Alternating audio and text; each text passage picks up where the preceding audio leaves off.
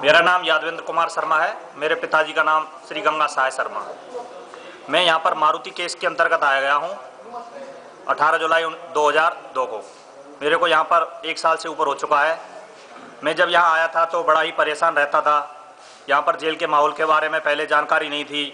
पूरी तरह से परेशान था। हमेशा रोया रोया सा रहता था।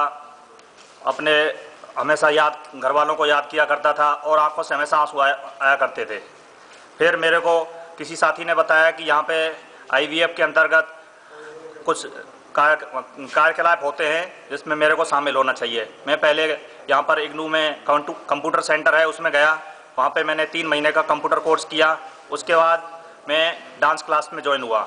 डांस क्लास में ज्वाइन होने में मेरा बहुत फ़ायदा हुआ। शरीर में मेरे जो फैट थी, वो चला गया और नई नई एक्टिविटी सीखने को मिली।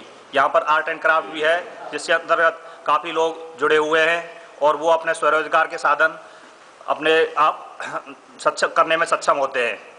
यहाँ पर काफ़ी लोग जुड़े हुए हैं, जिससे कि हमें अपने बाहर निकलने के बाद अपना खुद का रोज़गार जोड़ सकते हैं और यहाँ पर रवि सर आते हैं और मैडम जी भी आती हैं, उनसे हमें काफ़ी महत्वपूर्ण जानकारियाँ मिलती हैं।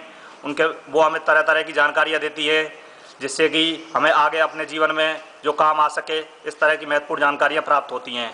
और अब मेरी यही उम्मीद है कि जितने से जितने लोग इसमें जुड़ सकें, वो अपना सहयोग कर सकें, वो अच्छा रहेगा अपने लिए और संस्था का नाम और अच्छा होगा। संस्था बहुत अच्छी तरह काम कर रही है, जिसका कि हम पर बहुत अच्छा प्रभाव पड़ रहा है।